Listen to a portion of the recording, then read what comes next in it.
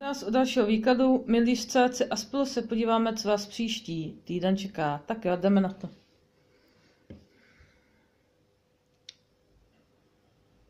Konečně se vám zase vrací ta vaše původní energie a vaše síla. Už se vám to začíná zase v těch energiích jakoby mm, stabilizovat, což je pro vás pozitivní zpráva necháváte té osobě, jejich, jejich eh, osobě, ty její iluze, hraní, přetvářky, protože vy se stejně budete řídit svojí intuicí. Co vám vlastně říká vaše intuice? A tím, že se vyvíjíte a rostete, tak uh, A vlastně jakoby ta osoba už jakoby na vás eh, vystřílela všechny divadla. Ta osoba vlastně jakoby už vás nemůže ničím překvapit a ta pravda stejně vyšla najevo. To už jste už předtím jakoby nějakým způsobem jakoby...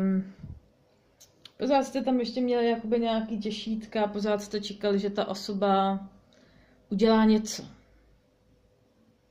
Aby to všechno bylo jinak mezi vámi. Ta osoba neudělá nic.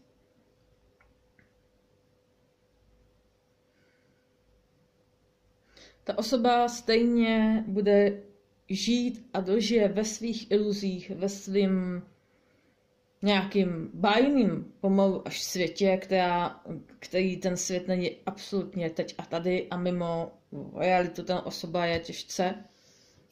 Tím, že lže sobě tím vytváří další iluze. Je to takový zatěsec i v těch energiích a vy jste tam hodně padali. Což už za pámbu nemáte.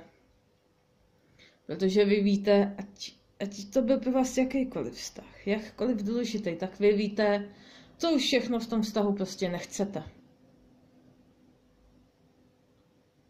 I to vám říká uh, to vaše intuice, že i kdyby, i kdyby, to je to je ta velká ironie střelci.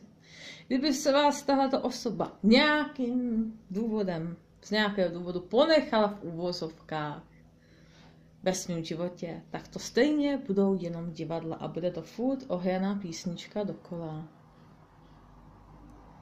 Za papambu vy už se ale nechcete trápit, vy jdete ve svém životě dál a tuhle tu osobu vy necháváte prostě za sebou ve svém světě, protože tohle to není součástí vašeho světa. A ten most, co vás spojoval, ten už se dávno někoho rozpadá a o někoho úplně rozpad. Teď to máte trošku, každý z vás trošku jinak, ale v podstatě je to pořád stejný. Já vám budu přát hodně štěstí, hodně síly a budu se těšit u dalšího výkladu zase někdy příště.